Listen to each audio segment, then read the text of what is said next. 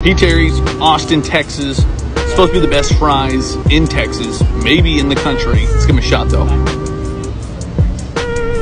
Damn. Great salt distribution. 14 of 16 fries. I got a double patty, looks like a smash burger, grilled onions, bacon, lettuce, tomato, their special sauce. Oh my word, it looks really fucking good. The bun looks awesome. Try the burger. Damn. Ooh, got a little bit of a kick to it. Got me all fired up.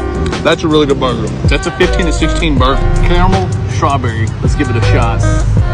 Wow, this is a 15 to 16 dessert too. Damn it, I'm trying to grade this place hard. Overall, P. Terry's is 15 to 16. This is definitely one of my favorite places to eat in the country now.